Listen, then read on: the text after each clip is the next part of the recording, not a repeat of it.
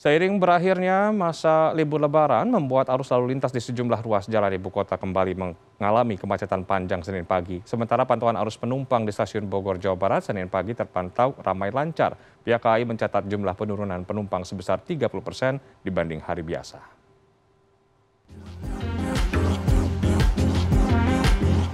Seperti inilah kondisi ruas jalan Salemba Raya Senen Jakarta Pusat pasca libur lebaran pada Senin pagi. Kepadatan kendaraan terlihat dari arah Matraman menuju kawasan Salemba. Padatnya kendaraan yang melintas menimbulkan kemacetan cukup panjang. Kemacetan juga terjadi di Jalan Keramat Raya yang mengarah ke kawasan Gunung Sahari, Jakarta Pusat. Tak sedikit dari pengendara roda 2 maupun roda 4 yang nekat menghindari kemacetan dengan menerobos jalur bus Transjakarta. Kemacetan pun dikeluhkan para warga yang mulai beraktivitas bekerja pasca libur lebaran. Sekarang pasca lebaran? Pasca lebaran udah mulai parah lagi, normal lagi ini macetnya. Tadi abang jalan dari mana tuh?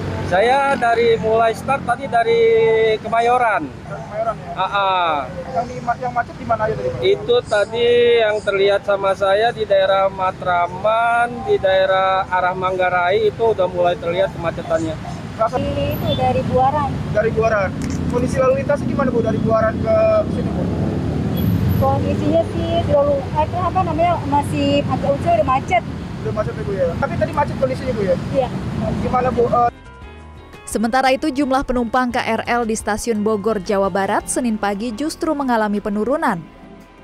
Bahkan pihak KAI mencatat penurunan penumpang kali ini mencapai 30 persen.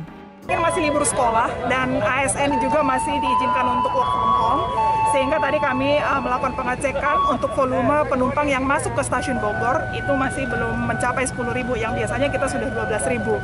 Jadi uh, kita juga melihat bahwa masih ada penumpang-penumpang yang memang penumpang musiman. Uh, Pihak KAI juga terus mengantisipasi lonjakan penumpang pekan depan setelah masa perpanjangan liburan berakhir. Tim Liputan CNN Indonesia.